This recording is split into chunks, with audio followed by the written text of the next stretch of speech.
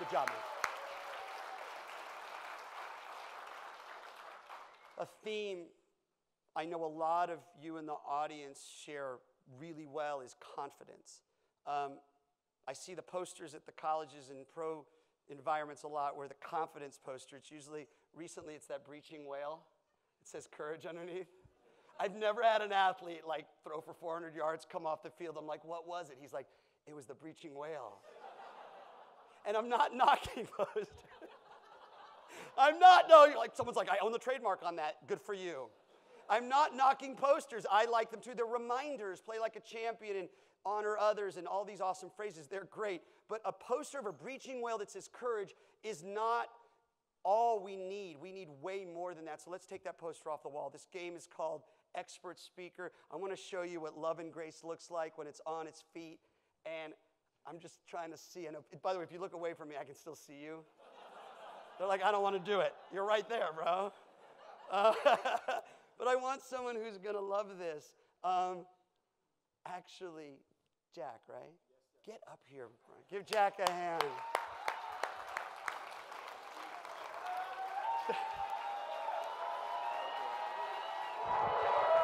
Put this on. Now, I, I don't know Jack other than we drove in the car from the airport. I do know this isn't his first rodeo on stage. Uh, but I want you to know that I picked Jack not because um, he feels totally comfortable. Actually, let's be honest, Jack, is there a little uncomfort in the fact that I just brought you up and you don't know what's going on? Thank you. So, luckily, you have that pocket. Oh, okay.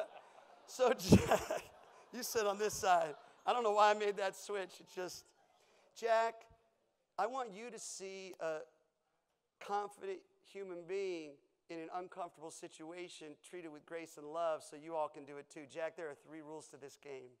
The first rule is everything you say is correct, and I will agree with you. See that smile? Everything. Jack, if you say, Steve, I own the lights, I'm gonna be like, I know, they're jackslights.com, right? You got it? I got it. And everything I say is correct, Jack, and you must agree with me.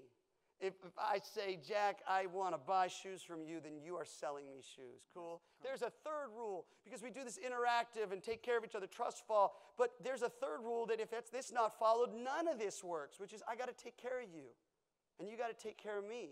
So I'm not going to get a joke at your expense, man, because I'm too funny for that, and so are you. I'm going to honor you. We're not going to go to a cul de sac. We're going to stay away from race jokes, sex jokes, drug jokes. Those don't work. You get a laugh, but usually that laugh is just nervous, uncomfortable, and you leave thinking, I killed it. They leave going, that guy killed it. You with me? So let's stay away from that stuff. And I'm going to honor you. I'm going to introduce you. But here's the thing, Jack. We're going to talk about something you know nothing about. They're going to come up with it. And when they come up with it, you're going to love it. And you're going to own it. I'm going to give you a big old intro. Is that cool? That's cool. Right there. Then this man has a great smile. Jack, stand right there. Y'all, first of all, you rooting for him? Of course you are. Um, and half of you are like, I'm glad he didn't pick me.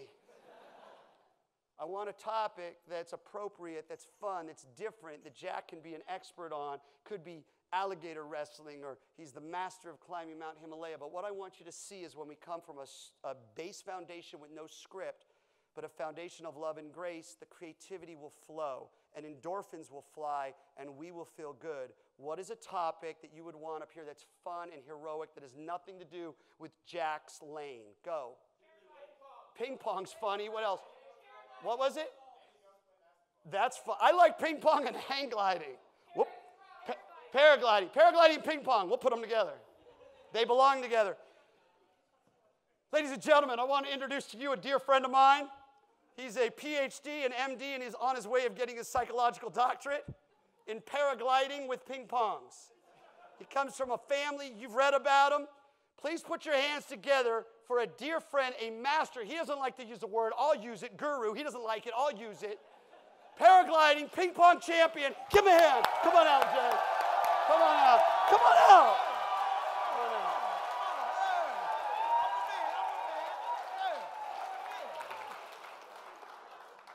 They know you, Jack. They know you. Jack, come on over here. Let me start with a pretty basic question. You were the youngest, correct me if I'm wrong, youngest paragliding ping pong champion. How old were you when you first paraglided? Uh, I would think I was eight. Eight years old, and you weren't exactly sure, but you think you were eight. I think I was eight. You would think you were eight. You come from a paragliding family. Talk about the influence your grandfather had on you as a paraglider. Well, I'd had any choice. Every day he would take me out with him, and we just do our thing. Do your thing. Do our thing. You wrote a great book called Flying with Grandpa. Oh, yeah. Flying with Grandpa sequel. You remember, do you remember? You wrote it. So, Jack, when you and Grandpa used to jump off of the cliff, you would say something to your, it was a mantra of sorts to give you flight, if you will. Can you share that with the audience? Yes, I'll say, Granddad, what you doing? It was a question. It was a question. You would say, Granddad, what you doing? And then it was a it was a call and answer of sorts, was it not, Jack? So let's say you're granddad and I'm you. I'd say, Granddad, what you doing? And then you would answer, Glad. he soared. He soared. You're flying. And then the ping pongs were introduced. Oh, yes, I remember that. Yeah. Talk about how the ping pongs help you stay in the air. Uh, it's hard catching them balls back then, you know, so we had to find a way to do it when, uh, I really don't know. Mm. Try to remember, Jack. Try to remember. You can tell us. Tell us. Yep. You would jump off. I'll jump off. Mhm. I'll do it with you. Let's do the jump. Yeah. And then the ping pongs. Oh, yeah. Yeah, yeah, you remember, you Yeah, I remember, yeah, yeah. I just happen to have a pair my. Yeah. You mean here we go? You go at it. You start playing ping pong. You start playing ping pong. Back and forth. That's what we did. That's what we did. And sh- That's what we did. I don't want you to miss a beat. I'd like to do it in slow motion from the jump.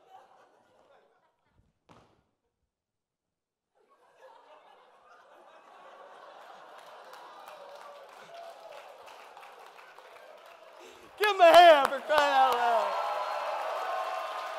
So good, man. Stay up here. Stay up here.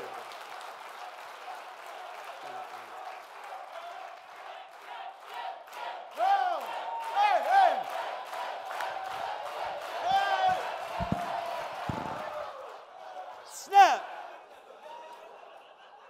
So, before I go, I don't rarely have people with Jack's personality do an expert speaker. At the same time, there was something interesting. I want you to be at my level. Here's a man who's confident on stage, yet we were doing something very scary. Agree? Yes. Yeah. And Anything about it. yeah. Were you nervous? No. Hmm. A little bit. Thank you. I'll take a little bit. Jack, I want to share with you, and you guys can take this if there's some Jack in you. Physicality helps you. Did you notice when we went here, things came to life? Oh, yeah. I was in my defense position. Did you notice Jack held for a moment, and said, I don't remember, and I'm like, you're gonna. And then he pulled a ping pong ball out of his back pocket. And when we did slow motion, I did it with you. These are all dynamics that if we don't embed them in our interactivity, their interactivity is going to actually work against you. You got me? You have to be very careful with interactivity that you do it with grace. Another thing I want to light you up with your smile's magnetic. Your physicality is truly your voice. Um, when you're here, all of a sudden your endorphins are flying. You with me? Um, and you have a great ability to laugh from here, which can move a room. How do I know that? I just saw it. So did you. Give him a hand. Good job, man. Appreciate you. Appreciate you. God bless you. I don't want any of us as leaders to drive home thinking I'm the only one. You're not. Drive home all the time thinking, man, why did I say that? I could have done that better. Oh, I rushed there. We're in this together. Let's support each other. We're all a little nervous. Some of us a little more than others. Some days we're more nervous than others. Sometimes we get our work out and we'll feel better. But I want to actually embrace that we all have some nerves. And if you didn't care about what people thought, then you should get rid of all the mirrors in your house. The three tiebacks to expert speaker are as follows. The first is we as leaders need to show it before we say it. I am such a big fan of nonverbal.